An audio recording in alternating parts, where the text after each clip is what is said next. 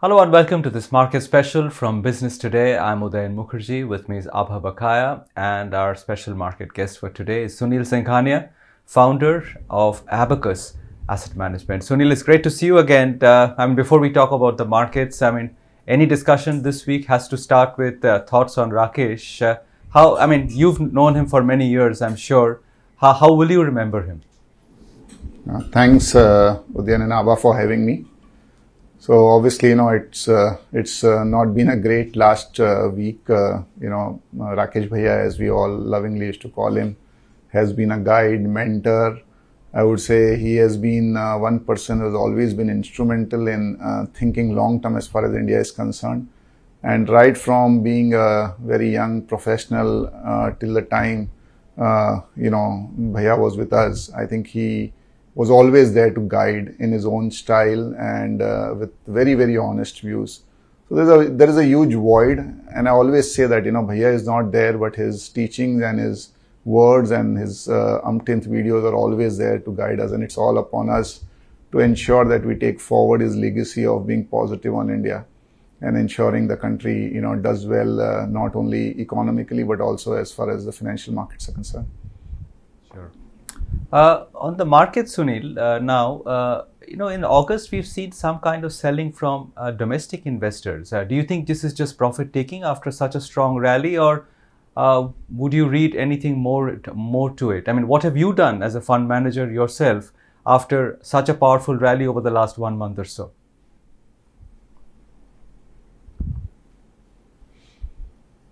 So, you know, uh, if you actually just uh, look back a little bit, you know, uh, this year started uh, with a lot of uncertainties. You had uh, the Ukraine and the Russia issue in February.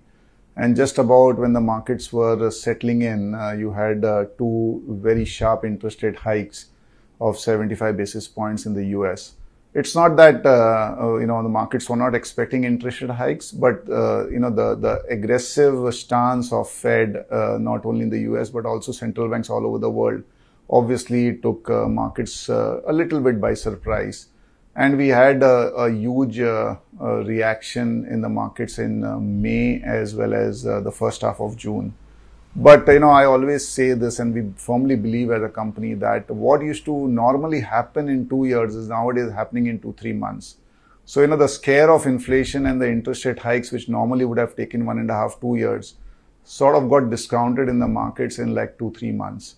And, you know, by the end of June, you had all the commodities start to react very sharply. You had oil, which had touched 135, 140, come decisively around 90 and I think that was when the markets sort of started to get a whiff that maybe, you know, uh, they were building in too much of an interest rate hike and uh, also inflation might not be as much sticky as, as markets were uh, expected to be. And, you know, you had the rally of, I would say, most, uh, uh, not hated, but uh, most unpredictable rally of sort where the Nifty went up by like 2500 points in a matter of two months.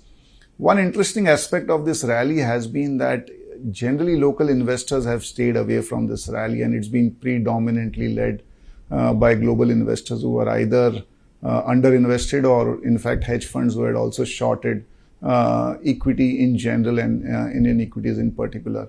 Uh, and to that extent, I would say the correction uh, from a rapid fall to a semblance as far as the markets are concerned has already happened. In fact, uh, we would be in the camp which were to believe that Nifty would be more or less, you know, in the in the range of like 16,800 to 17,400, at least for the next couple of months, uh, before we decisively start to see stabilization as far as uh, the US dollar is concerned and uh, uh, ensuingly uh, the commodities. I think what, again, as I repeat, you know, what was happening in two years is now happening in two, three months. So dollar index has again sort of become a cause of worry. We've already seen, I think euro is almost at par to the dollar, which is after years and years of uh, that happening. And there is a mild sort of a risk off. So at this point of time, you know, I think the domestic investors uh, uh, did not participate in, in the true sense in the last two months, particularly on the HNI side.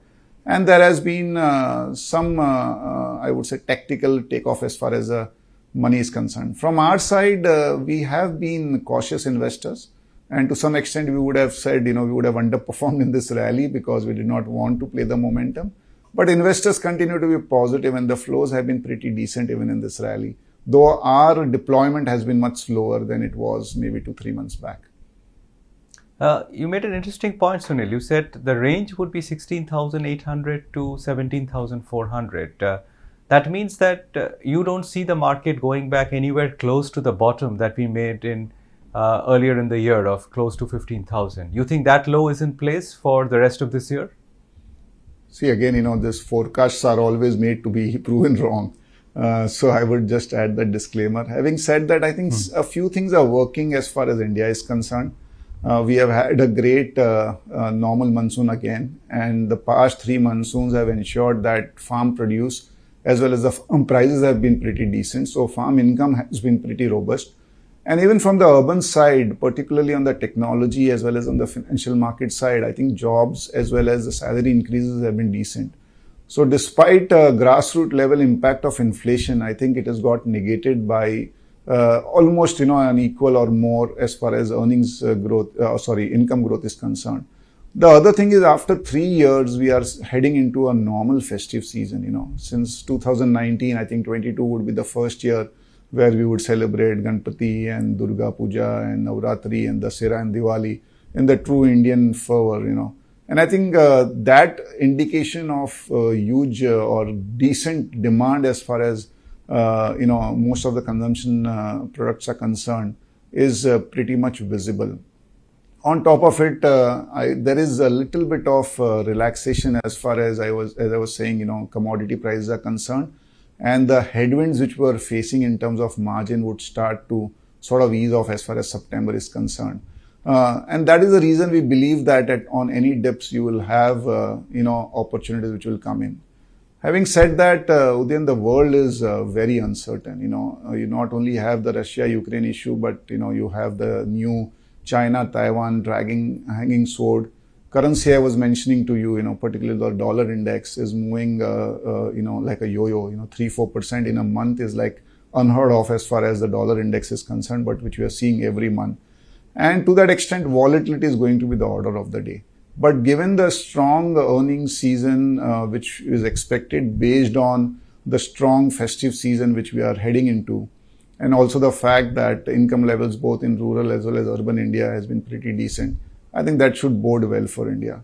And last but not the least, because of the problems of uh, gas and power and costs which uh, the Euro region is particularly facing, and also the fact that, you know, China obviously is one country uh, which the world fears can do something which Russia did.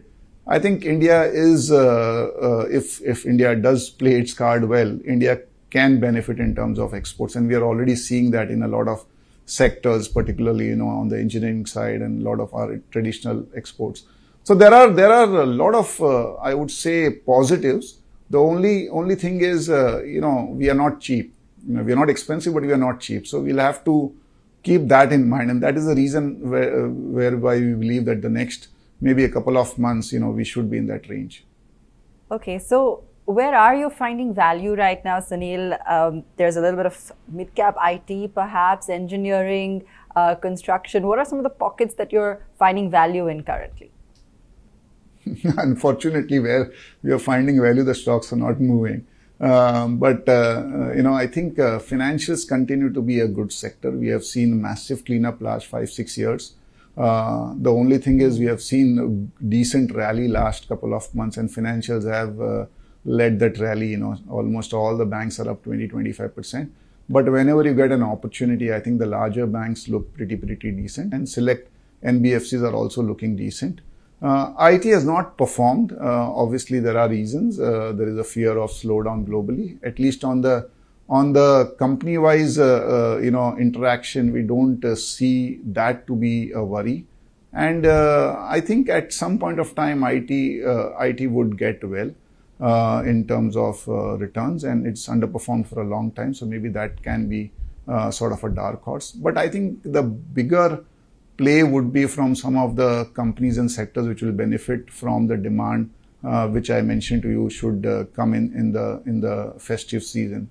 Uh, you know, so whether it is uh, you know garments or shoes or a lot of other building materials, the only problem is this has been the sector which has run up also very very fast.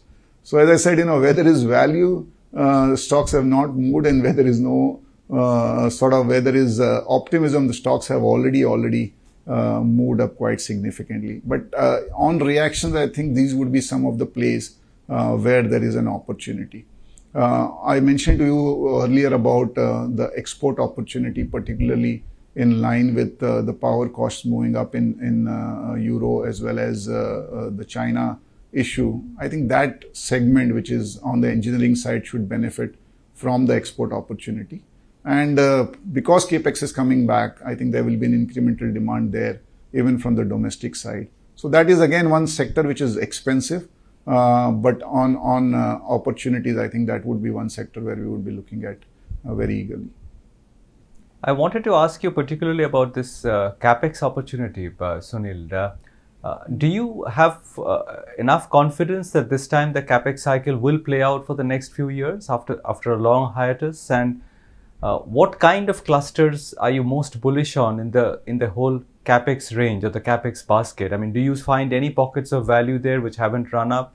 I mean, which ones would you zone in on if you had to play that theme? So then, actually, if you see, you know, uh, what happened was last five six years, uh, none of the companies and sectors uh, did any major capex, you know, because uh, obviously the balance sheets were not great, banks were not in a position to lend, and the confidence also was not there. Uh, but last two years, the demand growth has has meant that most of the companies, you know, have been operating at close to full capacity, and that is the reason why uh, last year a lot of companies announced capex. Uh, unfortunately, in between, all the metal prices and commodity prices shot up, so the outlay on capex for each company uh, was at least 30 40 percent more than what they had envisaged, and therefore a lot of companies deferred it. Uh, thankfully now again, you know, you are uh, you are seeing some semblance uh, and capex costs have come back to reasonable levels. And now you are seeing companies, whether it is on the on the power side, uh, including renewable as well as the traditional power, you are seeing that happening even on on the core uh, industry side, whether it is steel or metal, uh, chemical space. So across the board, you know, companies are expanding. And the beneficiaries obviously would be the providers of, you know, capital goods to this segment. Uh, uh, just a disclaimer, stocks are not cheap and they have moved up further. If you look at the last uh, one month, one and a half months, the bigger gainers on the equity markets would be capital good companies. Uh, and therefore, as I say, you know, on reaction, you should look at it. But the only thing which works for them is the huge operating leverage. You know, gross margins for a lot of these companies are in the region of 50, 55%. And therefore, you know, there is huge operating leverage. The sales go up by 30, 40%. Uh, the profits in fact double or triple also. Uh, and that is one segment we are looking at. On the other hand, you also have government capex, which is moving up in Gesto, you know. So you look at the state governments across the board, state governments are talking about uh, roads and airports and so on and so forth. Uh, the only problem there is companies which are beneficiaries of this are EPC companies. And because of the past history of EPC companies having issues with balance sheet, you don't get those kind of valuations. But even within that space, I think we have exposure to two, three EPC companies where we believe that the return on equity are like upwards of 17, 18 percent.